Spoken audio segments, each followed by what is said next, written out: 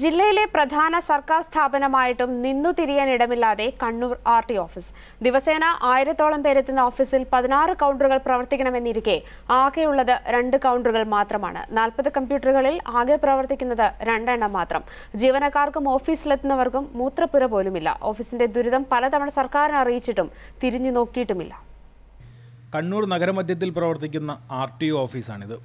Iritty check post രണ്ട് sub ഓഫീസുകൾ എന്നിവ നിയന്ത്രിച്ചും മറ്റു സേവനങ്ങളിലൂടെയും ഒരു മാസം സർക്കാരിലേക്ക് കുറഞ്ഞത് ഇരുപത് കോടി രൂപയെങ്കിലും നൽകുന്ന ഓഫീസിന്റെ അവസ്ഥ കാണുക.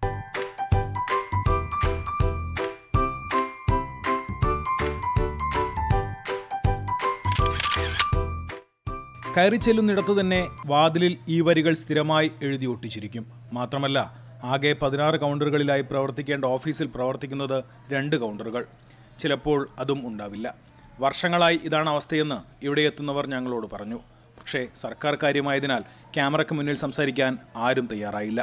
രണ്ടായിരത്തി ആറിലാണ് പൂർണമായി കമ്പ്യൂട്ടർ വൽക്കരണത്തിലേക്ക് ഓഫീസ് മാറുന്നത്. ഇന്നുവരെ വേണ്ടത്ര കമ്പ്യൂട്ടറുകളോ സ്ഥിരമായി ഒരു സിസ്റ്റം അഡ്മിനിസ്ട്രേറ്ററെയോ നിയമിച്ചിട്ടില്ല. ഇത്രയും സിസ്റ്റങ്ങൾ പ്രവർത്തിക്കാൻ വേണ്ട യു പി എസും നിലച്ചമട്ടാണ്. രജിസ്ട്രേഷൻ റിന്യൂ വേണ്ട വാഹനം ഇന്ന് ഫീസ് അടക്കാൻ പറ്റിയില്ലെങ്കിൽ രണ്ടായിരം രൂപ ഫൈൻ അടക്കണം. അങ്ങനത്തെ ഒരു ഗതികേടിലാണ് ഈ വാഹന ഉടമകൾ ഇവിടെ ഉള്ളത്. ഇപ്പോൾ കറണ്ട് പോയാൽ കണ്ണൂർ ആർ ടി ഓഫീസിൽ നോക്കണം കറണ്ട് ഉണ്ടോ എന്ന് എന്നിട്ട് വേണം കണ്ണൂർ ആർ ടി ഓഫീസിൽ ഒരു പ്രവൃത്തി നടത്താൻ വേണ്ടിയിട്ട് വരാൻ. ലഭിക്കുന്ന അപേക്ഷകൾ സൂക്ഷിക്കാനുള്ള സൗകര്യമോ അറുപത്തിരണ്ട് ജീവനക്കാർ ജോലിയെടുക്കുന്ന ഓഫീസിൽ വൃത്തിയുള്ള ഒരു ബാത്റൂമോ പോലുമില്ല. നിരവധി തവണ മേൽത്തട്ടിലേക്ക് അപേക്ഷകൾ സമർപ്പിച്ചിട്ടും ഒരു നടപടിയും ഉണ്ടായിട്ടില്ലെന്ന് ജീവനക്കാർ തന്നെ പറയുന്നു. കഴിഞ്ഞിട്ടില്ല. ഓഫീസിൽ വരുന്നവർക്ക് ഉപയോഗപ്പെടുത്താനുള്ള ടച്ച് സ്ക്രീൻ കിയോസ്കിന്റെ അവസ്ഥ വർഷങ്ങളായി ഇതാണ്. നഗരത്തിലോടുന്ന ബസ്സുകൾ ജി പി എസ് വഴി കണക്ട് ചെയ്ത് ഇവിടെ നിന്ന് നിരീക്ഷിക്കാൻ വേണ്ട സംവിധാനങ്ങളും സ്ഥാപിച്ചു. പക്ഷേ ഉദ്ഘാടനം ചെയ്ത അന്നു മുതൽ ഒന്ന് ഓൺ ചെയ്തിട്ട് പോലുമില്ല. എല്ലാറ്റിന്റെയും ഫലം അനുഭവിക്കാൻ കുറേ ജീവനക്കാരും ജനങ്ങളും. കോടികൾ സർക്കാർ ഖജനാവിലെത്തിക്കുന്ന ഈ ഓഫീസിൽ സാധാരണക്കാരന്റെ പണമടയ്ക്കാൻ നാലും അഞ്ചും ദിവസം കയറിയിറങ്ങണം.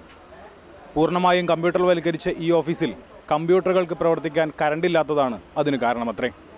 കണ്ണൂരിൽ നിന്നും വൈശാഖാര്യൻ ഏഷ്യാനെറ്റ് ന്യൂസ്.